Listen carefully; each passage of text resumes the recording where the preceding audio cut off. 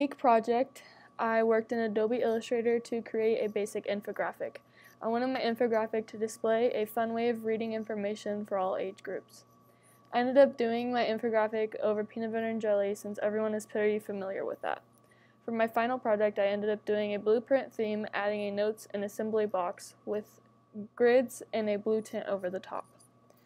I'm going to show you how I created the basic graphics in Illustrator from my infographic. So for my graphics of the peanut butter and jelly, I use the pen tool, which is here. Now you can create all kinds of different shapes. You can round the edges, you can make them straight. So here's just like a basic shape that I would work with. You can go and use the eyedrop tool and turn it to make it look like a bread color. And then I ended up doing that for each of the different things in the peanut butter and jelly. So for the crust part, I um, ended up just putting the crust underneath, putting the crust underneath the bread part. So that's what that looks like there. And then for the jelly and peanut butter, I just end up stacking everything on top of it. And my layers, everything just goes right on top of each other.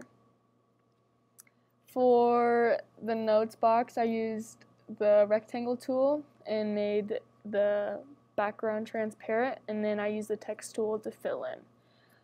Um, and for my grid, I use the line tool to make grids.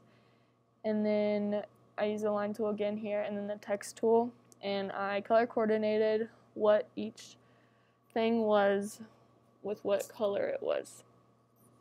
A little overview of, of my project. I had had experience in Illustrator before, but I had never made an infographic, so this was a little different than what I've done before. The most important part of making an infographic is to play around with different ideas. By playing around, I was able to establish what I like and what I didn't like, which helped the end result come out better. Also, looking at different examples of infographics on Pinterest or Google was also very helpful. Um, your text font and colors are very essential according to your theme, so you can display the type of theme that you want. Thanks for watching.